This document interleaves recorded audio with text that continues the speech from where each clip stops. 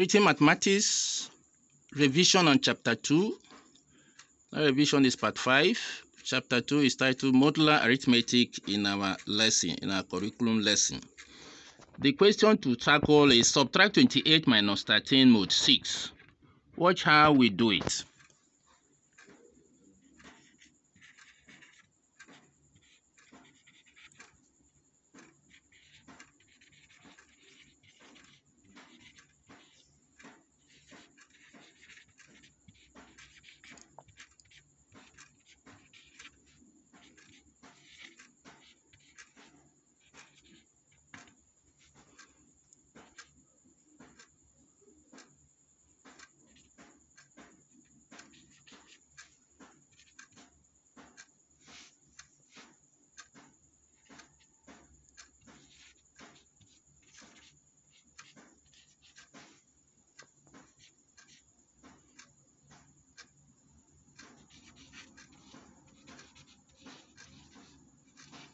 Okay, look at it. Look at it.